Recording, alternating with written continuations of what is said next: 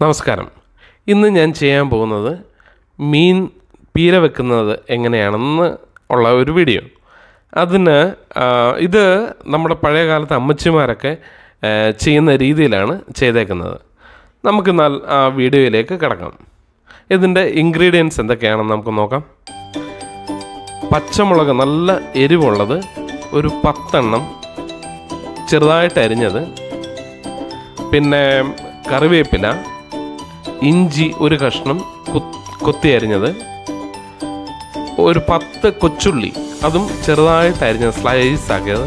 മീൻ പീര വെക്കാൻ പറ്റിയ പറ്റിയ മീൻ ചെറിയ മീൻ ഏതെങ്കിലും. അത് ഞാനിപ്പോൾ മത്തിയാണ് എടുത്തേക്കുന്നത് ഉപ്പ്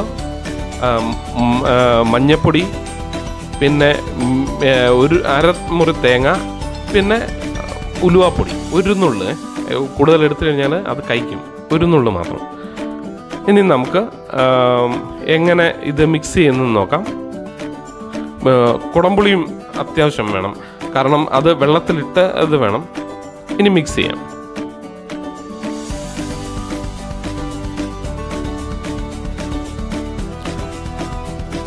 അത് കൈകൊണ്ട് തന്നെ മിക്സ് ചെയ്യണം.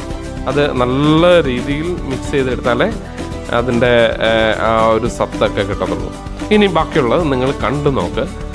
എന്നിട്ട് നമുക്ക് ഇതൊന്ന് രുചിച്ച് നോക്കാം.